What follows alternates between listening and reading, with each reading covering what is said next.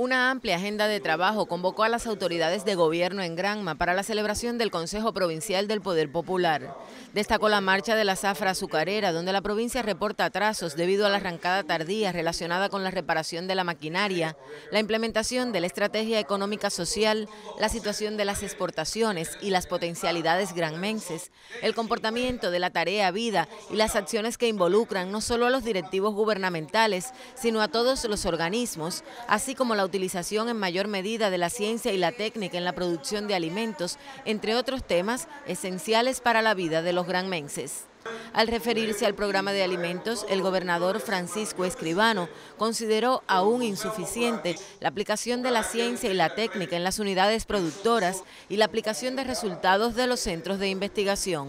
Yo creo que una buena llamada de atención y una llamada a nuestro pueblo para tener, extremar las medidas con estos temas de incendios, sería una magnífica oportunidad. Una sequía extrema, condiciones de verdad eh, favorables para que ocurran estos incendios, yo creo que entonces todos tenemos que sumarnos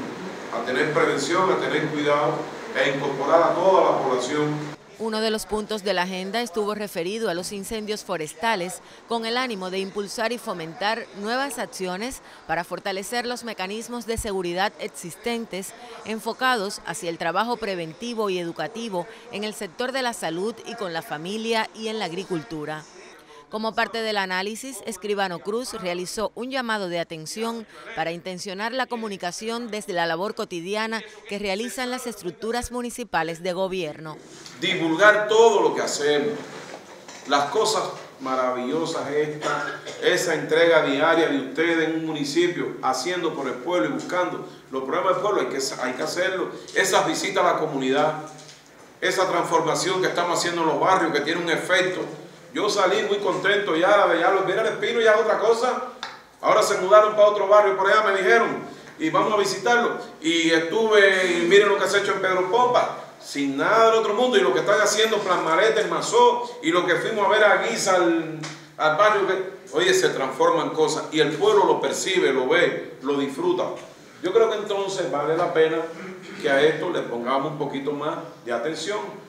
la provincia de Granma rendirá cuenta este año a la Asamblea Nacional del Poder Popular, ejercicio que responde a lo establecido en la Constitución y en la Ley número 131 de Organización y Funcionamiento de la Asamblea Nacional del Poder Popular y del Consejo de Estado de la República de Cuba.